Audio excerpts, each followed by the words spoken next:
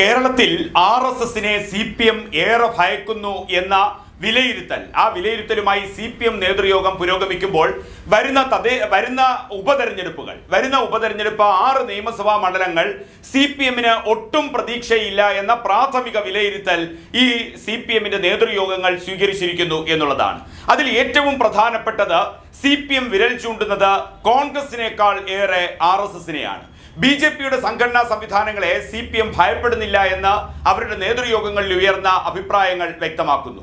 ഒരു കേഡർ സംവിധാനം എന്നുള്ള രീതിയിൽ സി പി എം മുന്നോട്ട് പോകുമ്പോൾ ബി ജെ പിയുടെ സംഘടനാ സംവിധാനങ്ങൾ സി പി എമ്മിന്റെ ഏഴയലത്തെത്തില്ല എന്ന ആത്മവിശ്വാസത്തിലാണ് സി പി എമ്മിന്റെ നേതാക്കൾ. പക്ഷേ ആർ എസ് എസ് പ്രവർത്തകരെയും ആർ എസ് എസ് പ്രവർത്തകരുടെ പ്രവർത്തന രീതിയും അവരുടെ സംഘടനാ മികവും സി പി എമ്മിനെ അട്ടിമറിക്കാൻ ഉതകുന്ന തരത്തിൽ തന്നെയാണ് എന്ന് ഭയപ്പെടുകയാണ് സി പി എം. ഇപ്പോൾ അവർ പ്രാഥമികമായി കണക്ക് കൂട്ടുന്നത് ആറ് നിയമസഭാ മണ്ഡലങ്ങളിലേക്കാണ് ഉപതെരഞ്ഞെടുപ്പ് വരുന്നത്. തിരുവനന്തപുരം കോന്നി അതോടൊപ്പം അരൂര് എറണാകുളം പാല മഞ്ചേശ്വരം. ഈ ആറിൽ മൂന്നിടത്ത് R S S C P എമ്മിനെ അട്ടിമറിക്കും എന്ന ഭയം സി പി എം നേതാക്കൾ മുന്നോട്ട് വയ്ക്കുന്നുണ്ട്. ആ മൂന്നെണ്ണം വട്ടിയൂർക്കാവും കോന്നിയും മഞ്ചേശ്വരവുമാണ്. അപ്പോൾ വട്ടിയൂർക്കാവിലും കോന്നിയിലും മഞ്ചേശ്വരത്തും സി പി എമ്മിനെ ആർ എസ് എസ് ഏതു തരത്തിലാണ് അട്ടിമറിക്കുക? ആർ എസ് എസ് ഈ മൂന്ന് മണ്ഡലങ്ങളിലും ചിട്ടയായ പ്രവർത്തനങ്ങൾ കാഴ്ചവെച്ചുകൊണ്ടിരിക്കുന്നു. സി പി എം എന്നാൽ അതിന് ഏഴയലത്തെത്തുന്ന തരത്തിലേക്ക് ഈ മണ്ഡലങ്ങളിലെ പ്രവർത്തനം ഇന്ന് വരെ ഉപതെരഞ്ഞെടുപ്പുമായി ബന്ധപ്പെട്ട് നടത്തിയിട്ടില്ല എന്ന വിലയിരുത്തൽ വിമർശനാത്മകമായി തന്നെ സി പി എം നേതാക്കൾ മുന്നോട്ട് വയ്ക്കുകയും ചെയ്യുന്നുണ്ട്. അപ്പോൾ ആർ എസ് ഈ ചിട്ടയായ പ്രവർത്തനങ്ങൾ ഉപതെരഞ്ഞെടുപ്പ് മുന്നിൽ കണ്ട് പകുതി പിന്നിട്ടു എന്നും സി പി എം എത്രയും വേഗം അതിനൊപ്പം എത്തിച്ചേരുക എന്ന് പറയുമ്പോഴാണ് സി പി എമ്മിന്റെ ഔദ്യോഗിക പക്ഷത്തെ ഏറെ ന്യായീകരിക്കുന്ന നേതാക്കൾ ആത്മവിശ്വാസം കൊള്ളുന്നത് ഒരു കാരണവശാലും ബി ജെ പിക്ക് സി പി എമ്മിനെ ഓവർടേക്ക് ചെയ്യാൻ കഴിയുന്ന സംഘടനാ സംവിധാനമില്ല. ഇതൊക്കെ സാധാരണഗതിയിൽ സംഭവിക്കുന്നതാണ്. സി പി എം തുടങ്ങിക്കഴിയുമ്പോൾ ബി ജെ പിയെ ഏറെ പിന്നിലാക്കാൻ സി പി എമ്മിന്റെ സംഘടനാ സംവിധാനങ്ങൾക്ക് കഴിയും എന്ന ആത്മവിശ്വാസം ഔദ്യോഗിക നേതൃത്വം പുലർത്തുന്ന ന്യായീകരിക്കുന്ന ഉയർന്ന നേതാക്കൾ പുലർത്തുമ്പോൾ മറുവിഭാഗം ചൂണ്ടിക്കാണിക്കുന്നത് ആ ആത്മവിശ്വാസം ഇനി അങ്ങോട്ട് വേണ്ട എന്നുള്ളതാണ്.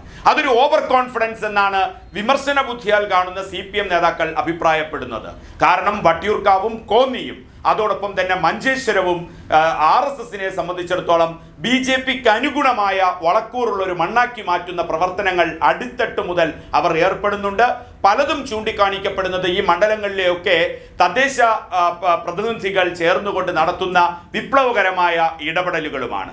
അപ്പോൾ വട്ടിയൂർക്കാവും കോന്നിയും മഞ്ചേശ്വരവും ആർ എസ് എസിന്റെ ചിട്ടയായ പ്രവർത്തനത്തിലൂടെ ബി ജെ പി മുൻകൈ നേടും. അങ്ങനെ ബി ജെ പി മുൻകൈ നേടുമ്പോൾ അവിടെ വിജയിക്കാൻ പോകുന്നത് ആര് എന്നുള്ളിടത്താണ് തർക്കം. ബി ജെ പി വിജയിക്കുമോ എന്ന് ചോദിച്ചാൽ ബി ജെ പി വിജയിക്കില്ല എന്ന് തന്നെയാണ് സി പി എം നേതൃയോഗങ്ങളിൽ ഉയരുന്ന വികാരം.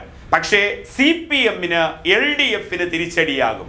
അങ്ങനെ വരുമ്പോൾ സ്വാഭാവികമായും ഈ മൂന്ന് മണ്ഡലങ്ങൾ യു ഡി എഫ് കൊണ്ടുപോകുമെന്ന പ്രാഥമിക വിലയിരുത്തലാണ് ഇടതു സി പി എമ്മിന്റെ നേതൃയോഗങ്ങളിൽ ഇപ്പോൾ ഉയരുന്ന വികാരം.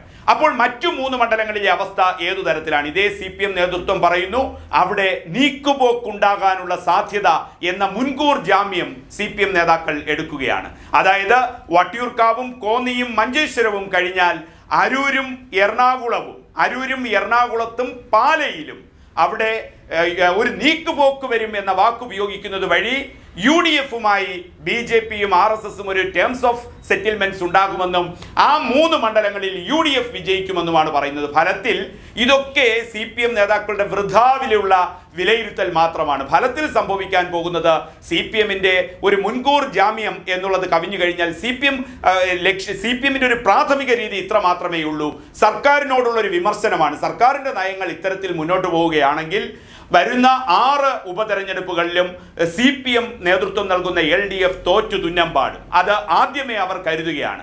ഇപ്പോൾ തന്നെ ഈ ആറ് മണ്ഡലങ്ങൾ എടുത്തു കഴിഞ്ഞാൽ അഞ്ചെണ്ണം യു ഡി എഫിന്റെ കയ്യിലിരിക്കുന്ന മണ്ഡലങ്ങളും അരൂർ മാത്രമാണ് സി പി എം നേതൃത്വം നൽകുന്ന എൽ ഡി എഫിന്റെ കയ്യിൽ ഉള്ളതും. അപ്പോൾ ആറെണ്ണത്തിൽ ഒന്ന് മാത്രം എൽ ഡി എഫ് പക്ഷത്ത് നിൽക്കുന്ന എൽ ഡി എഫിന്റെ സിറ്റിംഗ് മണ്ഡലമാണ്.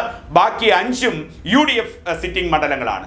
അരൂർ പോലും നഷ്ടപ്പെടുമെന്ന് സി പി എം ഭയക്കുമ്പോൾ അതിനവർ പറയുന്നത് ആറിൽ ആറും ഇതാ ഈ ഉപതെരഞ്ഞെടുപ്പിൽ ഇപ്പോഴത്തെ അവസ്ഥയിൽ സി പി എം നേതൃത്വം നൽകുന്ന എൽ ഡി എഫിന് നഷ്ടപ്പെടാൻ പോവുകയാണ്. അപ്പോൾ അതിനൊരു എസ്കേപ്പിസം വേണം. ആ എസ്കേപ്പിസമാണ് ആർ എസ് എസിനെ കുറ്റപ്പെടുത്തുക അല്ലെങ്കിൽ ആർ എസ് എസിനെ ഭയപ്പെടുത്തുന്ന രീതിയിലേക്ക് ഒരു വിലയിരുത്തൽ വരുന്നത്.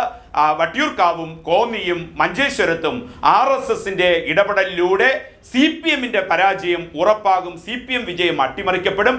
മറ്റു മൂന്നിടത്ത് അതായത് അരൂരിലും പാലയിലും എറണാകുളത്തും നീക്കുപോക്കുകളുടെ അവസ്ഥ അവസ്ഥയിൽ യു ഡി എഫ് വിജയിക്കുകയും ചെയ്യും. അപ്പോൾ ഇതിൽ നിന്ന് മനസ്സിലാകുന്നത് ഈ ആറിടത്തും സി പി എം നേതൃത്വം നൽകുന്ന എൽ ഡി എഫ് വിജയിക്കാൻ പോകില്ല പോകുന്നില്ല എന്ന പ്രാഥമിക വിലയിരുത്തലാണ് സി പി എം നേതൃയോഗങ്ങളിൽ ഇപ്പോൾ ഉയരുന്നത്.